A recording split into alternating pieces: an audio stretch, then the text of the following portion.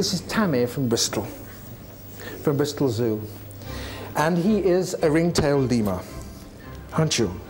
Let me try this, for example. I will spin it. The Christmas lectures from the Royal Institution were the first science TV shows ever to be broadcast on UK national television. They first hit screens in 1936 and since 1966 they have been watched by families every Christmas. Some of the greatest minds in science have given the lectures over the decades, inspiring a love of scientific exploration in countless children. Many of these early lectures haven't been available for public viewing since they were first transmitted. Now for the first time, the full archive of Christmas lectures broadcast on the BBC is being made available online for new generations to enjoy.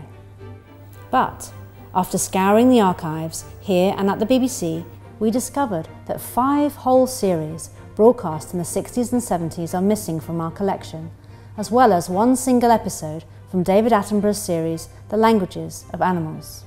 Officially, these programmes are missing, presumed wiped, from the archives, but we believe that somewhere, perhaps in a dusty attic or in an old videotape collection, copies may still exist today. So we're asking for your help. Look through your boxes of old videotapes, watch your old Christmas movies, ask your parents or your grandparents if they might have recorded them to see if you might have a copy of one of our missing Christmas lectures.